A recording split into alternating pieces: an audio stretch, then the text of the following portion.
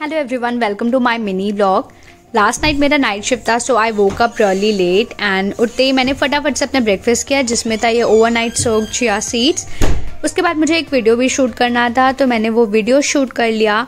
Lunch time पे मैं गई थी अपनी फ्रेंड के साथ लंच डेट पे, क्योंकि आज वैलेंटाइंस डे था so we decided to meet वहाँ पे हमने लिए अपने ऑर्डर किया था ये ड्रिंक्स मैंने अपने लिए ये वाटरमेलन ड्रिंक ऑर्डर की थी एंड मेरी फ्रेंड ने ये मिंट वाली. इसके बाद में हमने वेज शॉर्मा ऑर्डर किया था, जिसके साथ हमें मिला था हमस एंड एक और टाइप की डिप एंड ये काफ़ी टेस्टी था। इसके बाद में हमने ऑर्डर किया था पैन फ्राइड मोमोज इसके साथ भी दो टाइप की डिप मिली थी एंड दीज मोमोज वो सो गुड इनकी फिलिंग काफ़ी स्पाइसी थी just the way I like my momos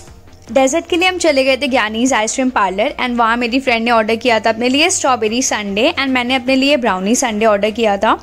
And this was so good मैं डेफिनेटली जल्दी से फिर से ट्राई करने वाली हूँ. Thank you for watching follow